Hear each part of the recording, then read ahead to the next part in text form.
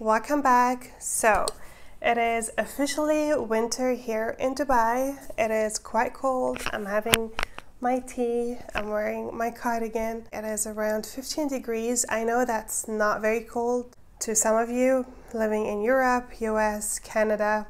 I know that, but for here, this part of the world, this is cold. We are not used to it. And our homes aren't prepared, so we don't have means of making the home warmer. You only have to rely on this, blankets and tea and things like that. But anyway, I thought I would sit down and share with you my favorite sunscreens to use during winter. If you know me, you know I'm obsessed with sunscreens and I have a lot in my collection and I do rotate between all of them, but I definitely have preferences for different seasons. Typically in winter, I like to use something that has a better formulation, maybe slightly more moisturizing, but that is also SPF 30 and not 50 because that tends to be the case. Usually the lower the SPF, the better the formulation, and then the higher the SPF, the not so good formulation, if you know what I mean. So I don't mind wearing SPF 30 in the winter and this is when I tend to pull out all my SPF 30 sunscreens and use them and really enjoy them. I also want to say that I like something that gives me a glow and not really mattifying in winter. I know that's to some people it's like the opposite. They want something that's glowy in the summer. But where I live, the weather on its own will make you glowy, oily, shiny. I know there's a difference, but to me, in summer, I want something that is mattifying, and in winter, I want it to be glowy. Anyway, this is what I will be doing in today's video. I have a mix of drugstore and high-end, also mainly mineral, but I do have a chemical option. So let's go ahead and get into today's video.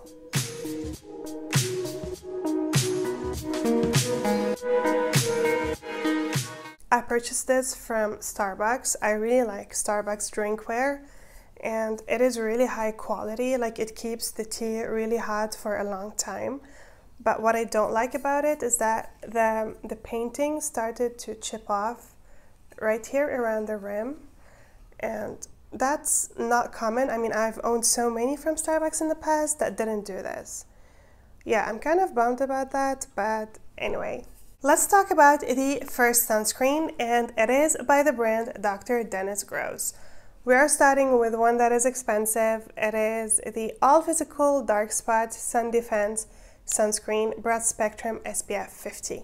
I know I said that I would use something that is SPF 30 in winter, but this is an exception just like some others I will share with you because the formulation is so good. I can literally use it anytime throughout the year. This is as it says, it is all physical, so it's 100% mineral sunscreen. But what I love about this is it has no cast. Like on my skin tone, this has no cast whatsoever.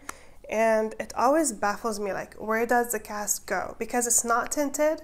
Let me show you.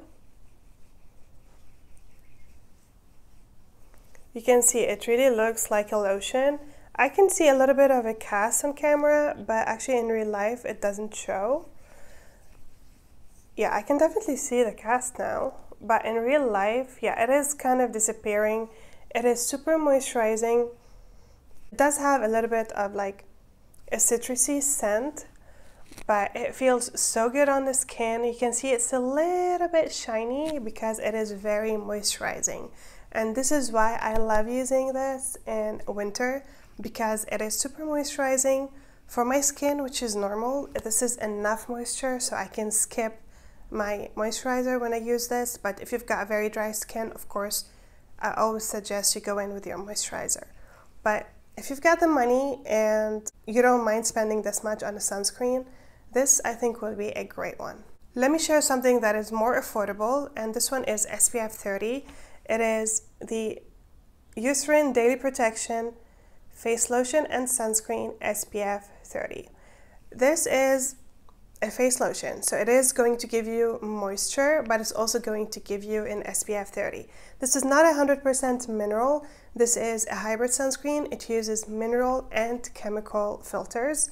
I got mine off of iHerb. Super quick shipping, amazing. I have a discount code. I will leave it in my description box. It's a great option Super affordable. You get four fluid ounces. Four fluid ounces for I think less than $10.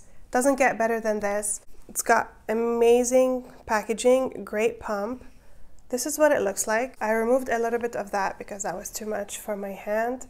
It does have a slight white cast, I would say.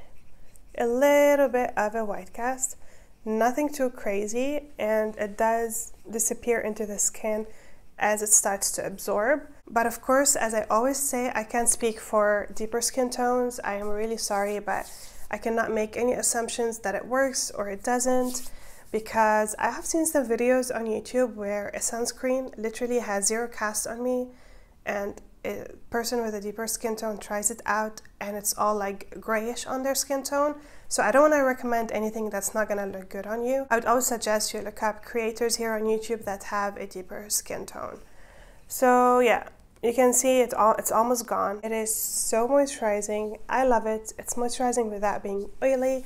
It is SPF 30. It is not water resistant. For that reason, I wouldn't typically use this in the summer. I'm more comfortable using it in winter, and this is when I'm gonna pull it out and use it because I love how it feels. I love how it sits under makeup.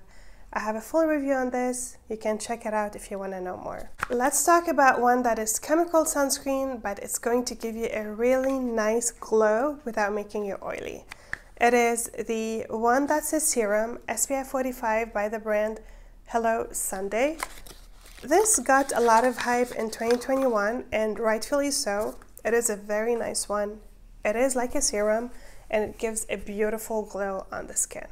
This is what the bottle looks like. It's 100% chemical sunscreen. You don't get a lot of product, so it's not really a drugstore priced when you compare the amount you get with the price you pay but it's still okay, not terribly expensive. This is what it looks like. It comes out like a serum. This is very hydrating. So again, another reason for it to be great for winter. It does add a little bit of hydration while giving you quite a high protection, SPF 45, and it will still give you a glow. You can see that glow. And that glow doesn't disappear as it dries down. So this is something I really like about it and it does tend to seep through light coverage foundation. And this is when I wear this, I wear it under light coverage foundation. It does give me a really healthy glow to my skin. So now that this has dried down, you can still see the glow. Yeah, I really like this glow. It doesn't make you look oily. It gives you that healthy, glowy look. Let's talk about my favorite sunscreen for 2021. I did mention this in so many of my sunscreen videos. It is the Murad City Skin Age Defense SPF 50. This is a broad spectrum all mineral sunscreen.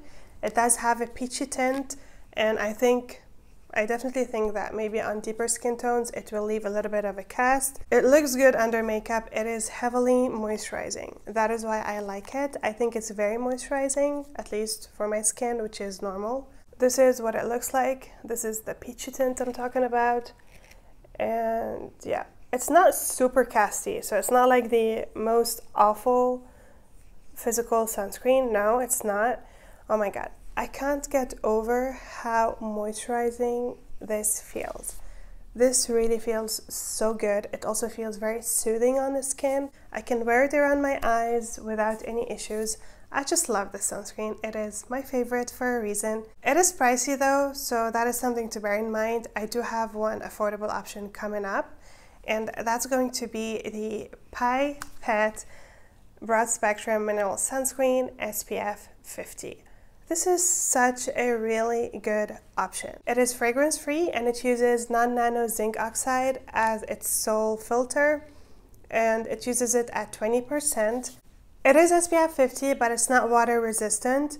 But what I like about this is that, again, it's a mineral sunscreen, minimal white cast, at least on my skin. It's got squalane in it, so that's going to give a little bit of moisture. If you've got very dry skin, I have seen that some people claim that this dries them out, so maybe this is not the best option for you, but if you've got normal to oily skin, this might be a really nice addition for winter. This is what it looks like. Again, not very casty. It does have a little bit of a cast. Maybe I should apply a little bit more so you can see the cast.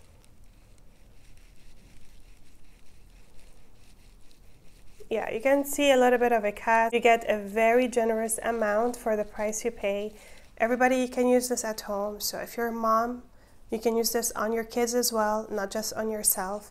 I find this to be a very nice base under makeup for me, but again, I did see some comments saying that this dries them out. I think because of zinc oxide. Zinc oxide sometimes can be drying depending on the formulation and depending on your skin. So if you know zinc oxide dries you out, this is probably going to be drying. But I would say go in with your regular moisturizer, maybe use a hyaluronic acid under it or any type of a hydrating essence and then try it out and hopefully it will work for you. If you have tried Pipette and you liked what it looked like, but it was too drying for you, I would say trying the Biossance Sheer Mineral Sunscreen would be a must because honestly they are very similar in texture, very similar in formulation. Just this one is a lot dewier, a lot more moisturizing than the Pipette one. They are both from the same parent company, so probably that's why the formulation is very similar, but this one is more dewy. I initially, when I reviewed both, I said that I like this more because this one made me look quite greasy or oily. But right now in winter, I came to appreciate it more because my skin is leaning a little bit more dry than usual. And I actually picked it up from Cult Beauty recently. I made an order and I purchased the full size because I really like it now in winter. It does give me a glow, but it also gives me good moisture and I feel like I don't need to go in with a moisturizer when I use this. And since it is SPF 30, then it is good protection for me in winter and not summer. I have only one more product to share with you and this is a new discovery to me. I have purchased this a while back, I would say like six months ago, maybe a little bit more, but I never got around using it. It is the Paula's Choice Super Light Daily Wrinkle Defense SPF 30. Again, this is an all mineral sunscreen and it does say here normal to oily and combination skin. But I think if you've got dry skin, you might be able to pull this off if you were to moisturize well under it. What I love about it is it's very emollient, so when you put it on the skin, it glides on really nicely. It does have a grayish tint that masks the white cast quite well. I'm very impressed with that. You can see there's almost like no white cast. It dries down matte. So not like fully matte, like dead matte, no, but it does have a semi-matte finish, I would say. And I'm thinking that is what's making them say that this is suitable for oily or combination skin. But yeah, it has amazing ingredients in it. It's got antioxidants and resveratrol, which are amazing for the skin. This is such a good one and honestly I don't know why I didn't try it before even though I did hear that a lot of people like it. This has definitely creeped up into like my top 5 sunscreens of all time. I haven't been using it for a long time, only at the beginning of January I cracked into it but I'm really really liking it and I find myself reaching for it every single day. The only thing that sucks about this is that it's SPF 30 and not water resistant. So again, I cannot use this in the summer in my climate but yeah, I would be using it now in winter. Those were all my recommendations for sunscreens for winter and yes, you do need to wear your sunscreen in winter. Please do so even if you're sitting inside and it's cloudy outside, you still need to wear your sunscreen. And it doesn't have to be terrible. You can wear SPF 30 that has a nice formulation, one of the ones that I mentioned to you or anyone that you like. At the end of the day, the best sunscreen for you is the one that you are comfortable to wear and use on a daily basis. That was it for today's video. I hope it was helpful. I hope you got something out of this. I hope these recommendations will work for you if you were to try any of them. Let me know what is your favorite winter sunscreen in the comments below. I would love to know and I would love to try them all. Thank you so much for watching. If you haven't subscribed already, make sure to do so and I shall see you in my next one. Bye guys.